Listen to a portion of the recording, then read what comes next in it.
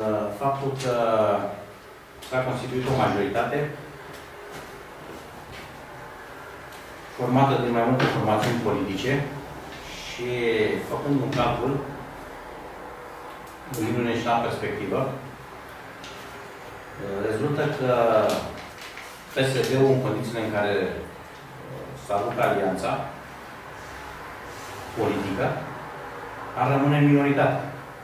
Pentru că sunt șapte consilieri județeni din partea PNL-ului, unul din partea PC-ului, să nu uităm că PNL-ul e într-o alianță cu PC-ul. Și cu ceilalți de la PDL, PNTCD și PPDD, practic, uh, PSD-ul ar mai rămâne cu 16 consilieri județeni, față de 19 cât a avut în mandatul trecut. Acum vom uh, fi și noi curioși ce va fi spre toamnă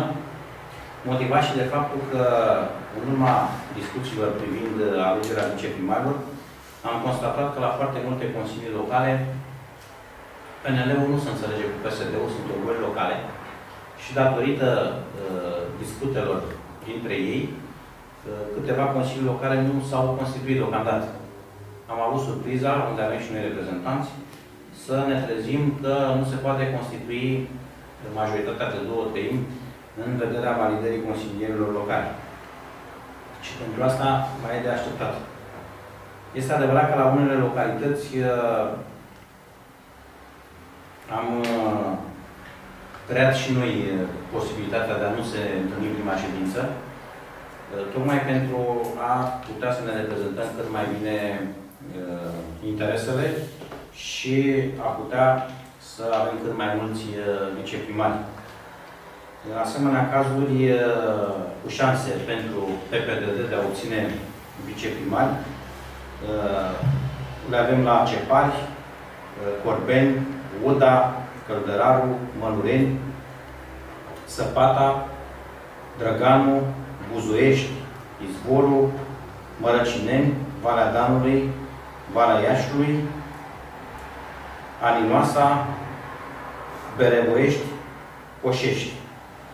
Deci cam acestea ar fi localitățile unde, uh, în urma negocierilor, vom căuta să obținem viceprimari. E adevărat că în uh, unele localități, prin reprezentanții noștri, decidem majoritatea, pentru că sunt, de exemplu, 5 cu 5 și 1 al nostru care poate decide o majoritate, sau 7 cu 7 și 1 sau 2, cum e cazul cu Ana Lacului și, de asemenea, prin votul celor doi decidem majoritatea, apoi 7 din partea Alianței, 6 din partea USL-ului și 2 din partea PPDD-ului. Am întâlnit și opinii că dacă ar fi fost candidatul PSD, în locul candidatului PNL, în cadrul Alianței, ar fi fost primar și tot felul de asemenea discuții. Cert este că uh, am cerut reprezentanților noștri să ducă o politică activă, să se implice în negocierile astea privind alegerea viceprimarilor, pentru că e important ca ei să activeze în cadrul comisiilor, acum unde nu vom putea scoate viceprimari, și să își respecte uh, programul electoral, să facă vizibili în localități și în perspectiva alegerilor uh, parlamentare.